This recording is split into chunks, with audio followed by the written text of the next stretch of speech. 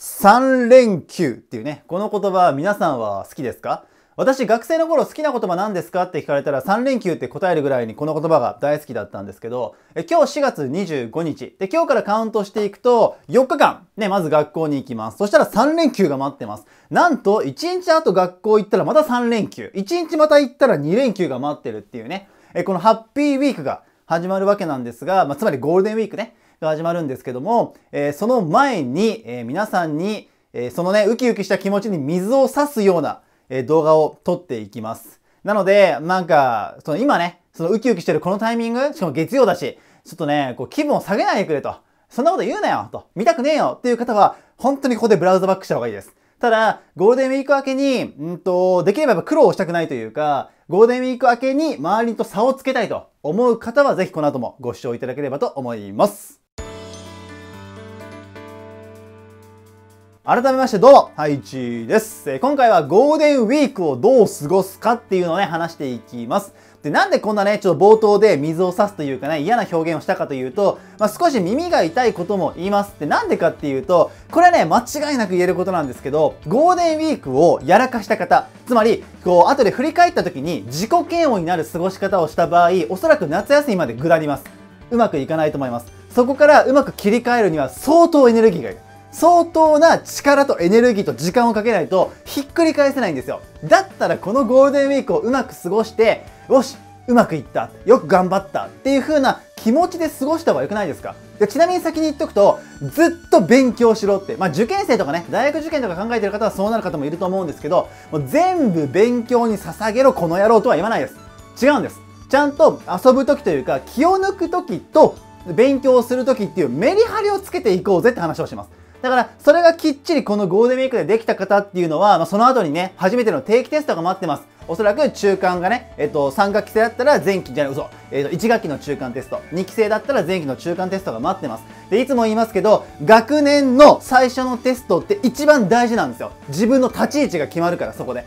で、あ、私はこの学年で、新しい学年でこの辺なんだっていう。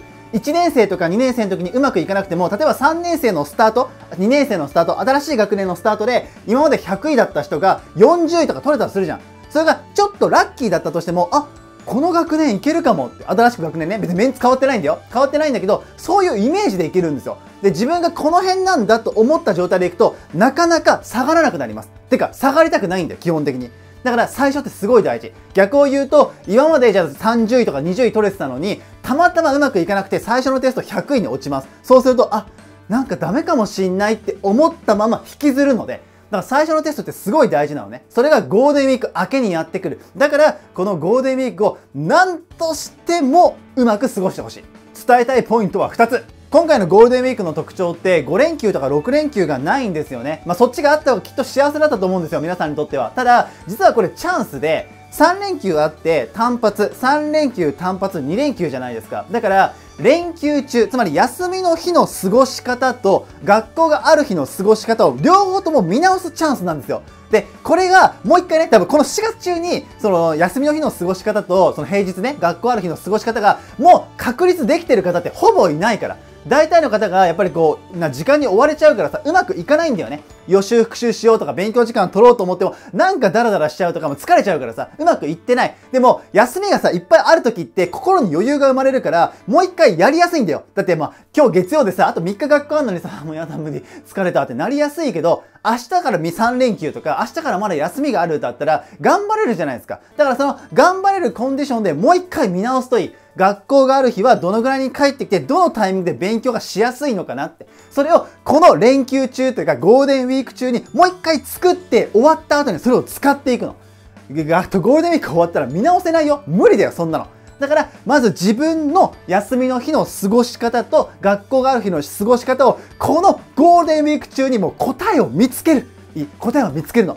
こうしなさいとは言わないから。過ごし方に答えなんてないから。A 君、B 君、C 君、みんなバラバラでいいから。だから自分自身の答えを絶対見つけてやるんだと思って自分と向き合ってください。二つ目のポイントはやることについて。で、これは別にこれって決まってはないんですけど、ひとまずやってほしいのは、この4月中に勉強した学校で授業があったことを徹底的に固めるっていう。復習をするってところでやってみてください。学校で授業を受けて自分で一回勉強してそれで全て定着するんだったらいいんですけど人間はコンピューターではないので保存ボタンで保存ができません。だから反復をしなきゃいけない。必ず繰り返さなきゃ基本的には定着をしないんですね。だからみんながどうやったらどのぐらい反復したら自分は定着するのかっていうのを確認するのもここなんだよね。で、それを4月中の勉強、学校でやったことを使うのが一番分かりやすいし、だって前期の中間テスト、1学期の中間テスト出るんだから4月の勉強。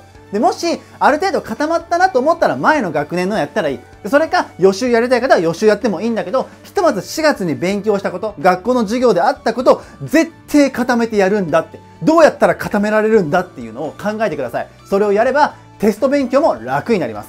残り細かいことを2つ伝えさせてください。一つ目は100点を目指さないというところです。これは学校のテストの100点ではなくて、ゴールデンウィークを過ぎた後、終わった後に振り返った時に自分が100点を上げられなくていいよっていうことです。じゃあ何点なのか基本的には80点でいいと思っています。5月8日の日曜日、ゴールデンウィーク最終日の夜ですね。その1週間というかゴールデンウィークを振り返った時に、まあね、うまくいかなかったところもあるけど、でも80点ぐらいは上げられるかなって、頑張ったよなって言えたらいい。100点目指しちゃうと、これはきつい。基本的に何か計画を立てて完璧だったって、もう100点を上げられるっていうのは、社会人でも言える人は少ないと思う。あんまいないよ。だからそのメンタルの問題だと思うけどね、俺は無理です。無理。だから基本的には80点を上げられる。で、そのためには計画を立てるときに詰め込みすぎても辛い。だゴールデンウィークって前ってできそうな気がしちゃうのよ。時間があるからさ、連休だし。でも、意外とできないから。だから、今までの4月を振り返って、自分にちゃんと合った量で設定する。ただ、目標はちゃんと決めるんだよ。いい。目標をちゃんと決めないと、自分を振り返った時の、えっと、振り返った振り返りが曖昧になる。で、曖昧になると、褒め言葉というか、自分への評価も曖昧になるから、効果が薄くなっちゃうんだよね。ただちゃんと計画は決める。で、その時に大事な2つ目が最終日の5月8日。この日は計画に入れないこと、白紙にしておいてください。5月8日にもこれをしてっていう組み立てをしない。5月7日までを使って、土曜日までを使って、これをこのぐらいやるんだって。英単語を何個覚える、ワークをどこまで進める、ね、過去問何回やる、何でも構わない。自分で決めたものを7日までに終わすって風に決めてください。で、じゃあなんで8日を使わないかっていうと、基本的に計画はずれるから。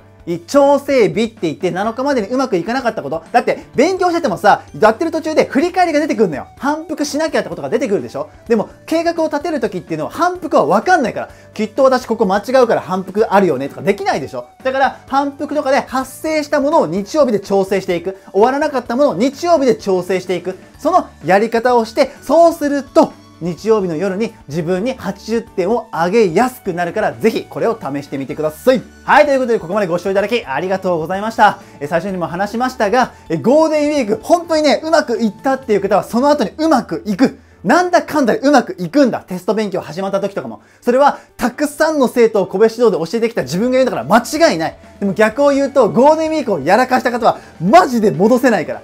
ほんと引きずるから。で、夏休みまで引きずって、受験生とか、夏休みもうまくいかなくなる。負のスパイラルはここから始まっちゃう。だったら断ち切ろうぜ。